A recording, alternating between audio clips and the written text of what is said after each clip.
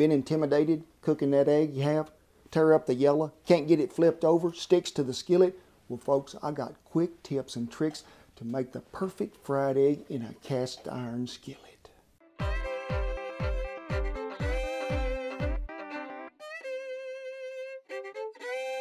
Hey, welcome to some quick tips and tutorials, a new series we've started. But don't forget, every Wednesday, 2.30 Central, we'll still have our regular cooking videos. But what's happening today? Get a lot of questions for it. The perfect fried egg in a cast iron skillet.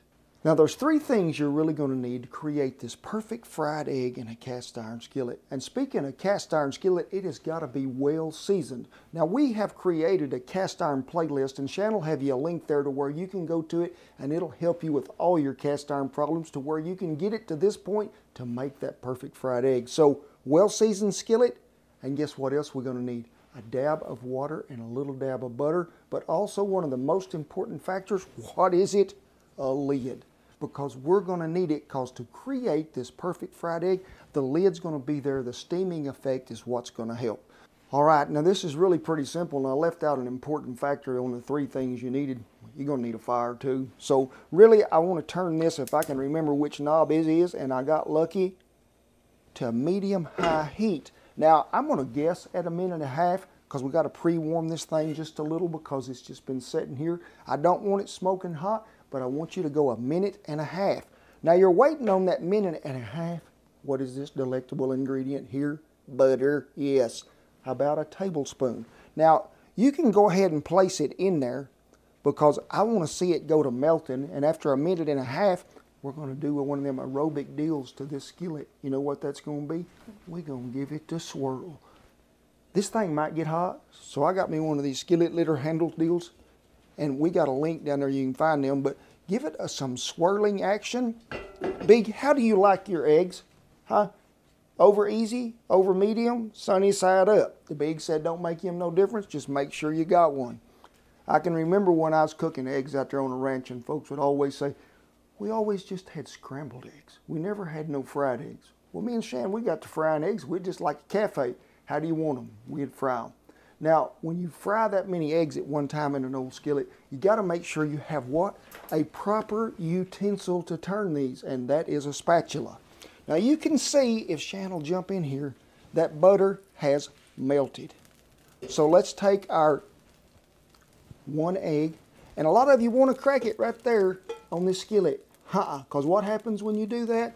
Some of it runs down the side. See what was left there from this morning's Shan? But also that eggshell falls in there, it does. Crack it on a flat surface. We hope that it is a real egg, not one of them Easter eggs, and it was. Ooh. At this point, a very important part, remember, about a tablespoon of water. Go around the outside edge. The lid goes on. Turn it to low. Guess what? Timer is started. At a minute and a half, that becomes what? An egg sunny side up fried. But we're going to go ahead and do a total cook time of about two and a half minutes to have what? That over easy egg that I have every morning. The perfect fried egg to me. Now some of you might be telling yourself, whoa, I like mine over medium. Well, at that two and a half minutes, take that very important tool that you have there, a spatula, and flip it. Cook it another 30 seconds without the lid. You will have an over medium egg. So Folks, there's two or three different ways you can get that out of there. You can slide it out of there, or you can just take that spatula, push it over to the side, and there you go. Now, I like my eggs just like this, but guess what? You know we got to have one that's got some what? Salt and pepper. Then we got to have us a fork. And I want to bust this right here. And look at that. That is just what I would call an over easy. Now I'd take that thing and I'd just go ahead and just scramble it up just like this right here. Get me like maybe a side of hash browns, some of that good crispy fried up bacon. And what would you do? Bon appetit. Mmm. Makes me want to do the chicken dance again. Might even lay an egg. Uh-huh. But ain't gonna. Well, we hope you enjoyed these quick tips and tutorials about these eggs because, hey, it is so easy. And uh, if you don't like a fried egg, maybe you like an omelet. We also got you a video on that we did a while back.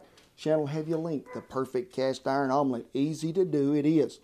We want to thank y'all for taking time out of your day to watch our videos, and we hope you've enjoyed this. As always, I tip my hat and I salute our veterans and all our servicemen and women who have kept this old country safe. Be sure and check out upcoming events. Remember, this is the big time of year. Cookbook is coming out March 17th, and we got a big book tour lined up. Be sure you look at it, be sure you find it, because we want to see you at the city that we're in, okay? We'd appreciate it very much. God bless you, each and every one, and I'll see you down the perfect fried egg tray. And it helps. Looky there, that's a bad one, folks. Redo. that is what you call a bad egg.